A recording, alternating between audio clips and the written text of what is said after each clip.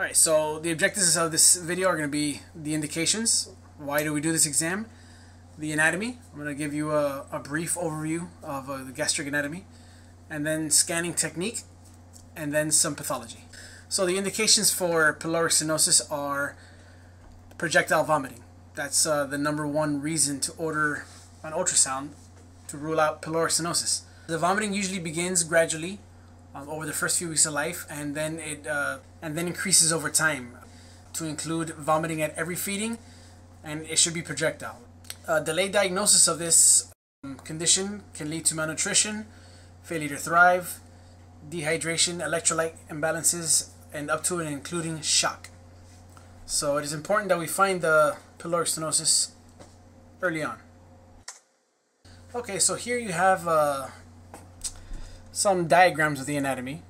Um, this is a drawing of a longitudinal hypertrophic pyloric stenosis. You can see the thickness of the wall here and the length. This would be the, the antrum of the stomach. Here's a Gray's anatomy drawing. Here your esophagus, the fundus of the stomach, the antrum, and then the pylorus is right here. So, and then this is duodenum. Okay, so let's get this a little bit bigger.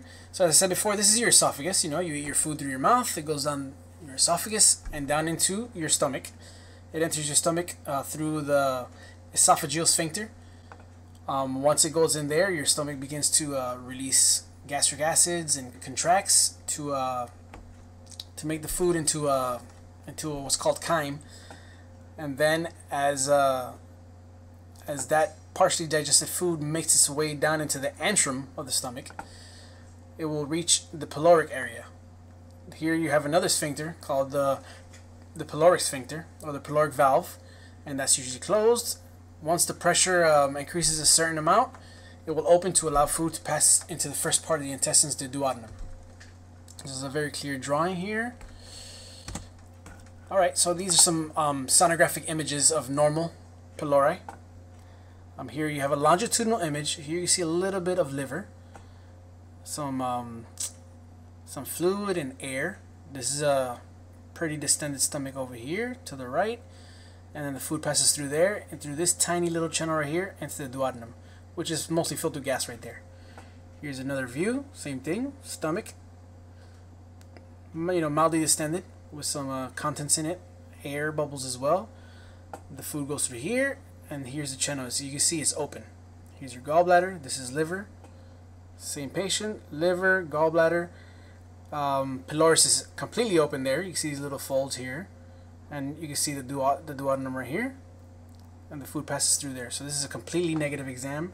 Another example here with air and reverberation artifacts. And here you see the channel is open. So you would have stomach, antrum, pyloric antrum, and then this is the pyloric valve here, or the pyloric sphincter. And then a transverse image right here.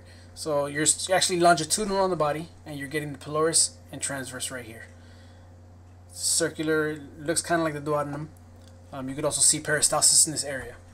So when you're scanning, you start right here in the epigastrium. You use your pancreas your liver, left lobe of the liver, and the and the gallbladder as your landmarks. So you can begin at the pancreas and then angle up and slightly to the right to the right, and you'll catch it there. Um, anterolaterally, it will be the gallbladder. Superiorly will be the the left lobe of the liver. Or you can start at the left lobe of the liver and angle down and catch it that way as well. And you'll be transverse in the body and you'll be getting the pylorus in a longitudinal plane. And then when you go sagittal on the body, you get the pylorus in the transverse plane. Alright, so you want to use a high frequency transducer, a 9, and on some small babies you can use a 15 and get some very exquisite images. You want to start with the baby supine. Um, you can have water dextrose or uh, Sweet-Ease with you. Um, they come in little in little containers like this, so you can actually dip a pacifier in, or other ones where you can squeeze drops into the pacifier and the babies usually love that and they'll calm down if they're very fussy. If the baby's very gassy, um, you can one try pressure. They're not gonna like that. Parents also not gonna like that. They're gonna ask you, "Are you hurting the baby?" No, you're not. But pressure can move the gas away, Also, if you put the patient on right lateral cubitus, the gas that's here should go up into the fundus of the stomach, and the fluid should shift down, and that typically is a good uh, a good window to get the the pylorus. All right, so now the pathology. The number one reason we do this is for hypertrophic pyloric stenosis. So it is a considered a gastric outlet obstruction because the pylorus is the outlet of the stomach.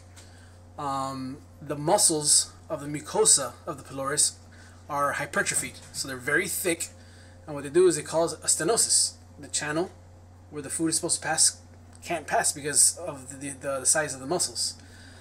Um, it typically occurs uh, four to eight weeks, though you can see it earlier.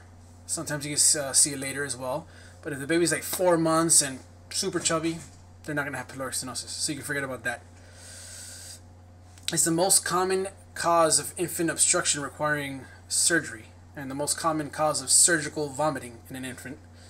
Um, clinically, historically, they've had this uh, this clinical sign called the palpable olive sign, where you can feel like a mass right in the epigastrium. Um, I've done many pyloric ultrasounds. I've never really checked for this. On one patient was very, very thin and emaciated. I actually was able to even see the palpable olive sign. That was the one time I saw that. But they say that it's it's uh, usually present in a lot of cases. Um, many sonographers also call it the little cervix sign because it looks like the image of the transvaginal cervix just in miniature when it's when it's positive. Um, and the ultrasound parameters are 3 millimeters or more thickness. Usually they're more, usually it's 4, 5, 6. And the length is 15 millimeters or more. Some studies say 16 millimeters, but I think 1.5 centimeters or 15 millimeters is a good cutoff point. Alright, so here's a uh, an anatomic diagram, again showing the esophagus, fundus of the stomach, antrum, and then you here you see the hypertrophied or thickened muscle. So the food cannot pass as the stomach contracts and contracts and contracts, and as it expands with more fluid, there's only one way for it to go, and that's right back out through the esophagus. Usually very forcefully because you know the stomach is a very strong muscle and it's squeezing. All right, and here's the first part of the duodenum. All right, so here's uh, some ultrasound images of positive pyloric stenosis. This is a sagittal or longitudinal image. See the muscle is very thick right here, and this is why they call it the little cervix sign because it looks almost like a cervix uh, in a transvaginal cervical length sonogram. And then here it is in transverse. It looks like a target, a bullseye, or a donut. Um, I like donut because, you know, we're talking about the stomach. So that makes sense. So transverse, longitudinal, very positive. You put this down, you see that, it's positive. You don't have to worry about, you know, you can even see the striations of the muscle from, from the hypertrophy. And in some cases, you can even put Doppler, and there'll be increased Doppler there. Color Doppler. All right, here's a couple more examples. Here you got your stomach with some fluid and gastric contents. Then this is the length. You can see the thickness. Here again with some free fluid right here. All right, very very thick muscle and lung. And then here's another example. Same patient with the free fluid, some contents in the stomach, very long and thick. I mean, I don't have the measurements for these images right here. They were measured, but they're not included in these images. But you can just look at it and know that it's positive. Alright, and then here's one in transverse. This is the stomach to the right, which is the left of the, of the patient's body. Alright, so one of the pitfalls of this exam is pylorospasm, which is a transient mus uh, muscular contraction of the pyloric muscle. Um, as you're scanning, it appears to be positive because it's very thick and the channel is long um, and these babies are having vomiting. But if you wait some time and or feed the baby, which some uh, some centers require that to be part of the exam feeding, others don't. But you feed the baby, and the stimulation of the food will cause the muscle to relax once uh, once the food gets there.